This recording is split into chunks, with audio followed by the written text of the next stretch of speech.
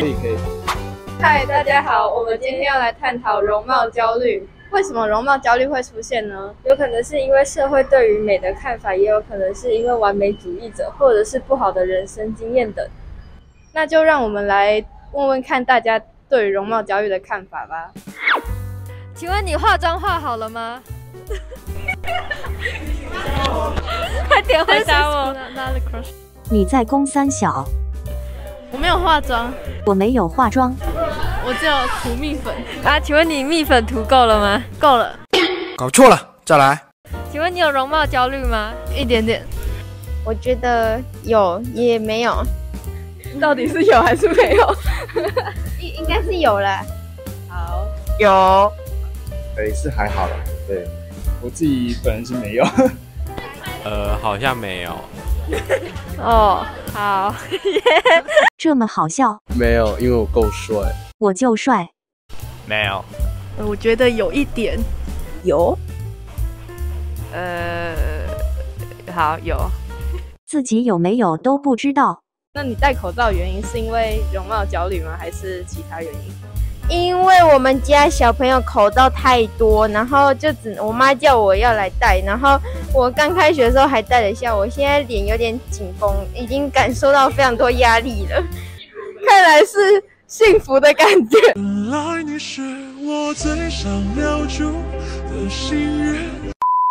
哦，我觉得主要还是防疫的因素。这样可以吗？安内哦。那你发出去一张照片会修图吗？我会修痘痘。不会，因为我够帅。自信一百。不会。会哦，鬼修女哦。修图有时候会，对，就是修掉一些瑕疵的地方。不会，因为我不会用。我不会拍照片。不拍就没事。不会，我只会调那个环境光之类的。看是修哪里？那你都修哪里？我都修奶。人家容貌焦虑啊，你胸部焦虑。你拍出一张好看的照片要花多久？一个小时。哎呦，一辈子也拍不出来。我一辈子都在拍照。不知道哎，通常不是，我平常不太会拍照。呃，三秒。半小时。等于大概五分钟。看是拍哪里，我就问你想拍哪里。那你觉得为什么容貌焦虑会盛行？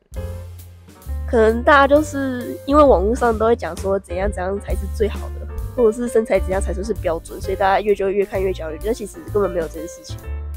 哦，容貌焦虑，我觉得是很多社交软体，然后有很多美女啊、帅哥在上面 PO 照片，所以大家也会对自我容貌要求变高。因为交不到对象。所以你是有对象焦虑，不是容貌焦虑，这不是一样的东西哦。因为网络上太多好看的人了。在说我吗？因为没有奶。看来你很需要。就可能普遍对自己的长相不自信之类的，然后加上疫情大家都戴口罩，然后可能现在口罩解封了，就会不敢把口罩拿下来。我觉得还有一点就是因为。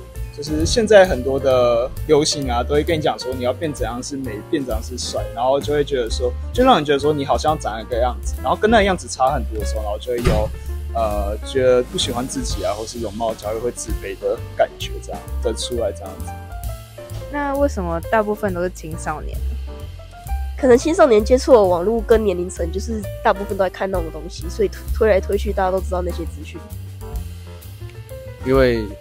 他们青少年的时候长得比较不好看，因为呢，他们使用社群媒体的机会比较多，然后他们就会看到很多帅哥美女，然后就会觉得哇，他们好长得好好看哦，然后就会觉得自己没有很好。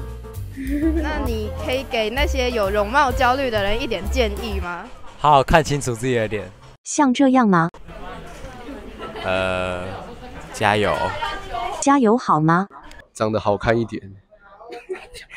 哦，长得像我。哥就帅。就是呢，你每天看着镜子，然后你就说自己，你就说我很帅，我很漂亮，然后，然后你你每天都这样讲，你有一天你就觉得你自己很漂亮。你学会了吗？我我觉得要懂得去欣赏自己的特色吧，可能每个人都是好看的这样，就是不要在意别人的眼光。就没没有什么建议，因为我本来就长得很帅，所以没有容貌焦虑，没有啦。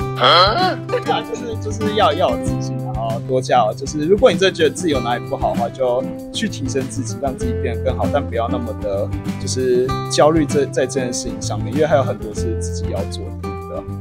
有自信很好，不要像他一样过度自信。好的。等一下哦，你可以继续录，我看一下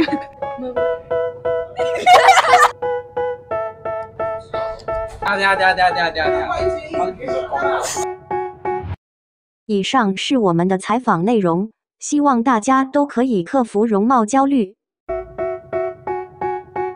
拜拜。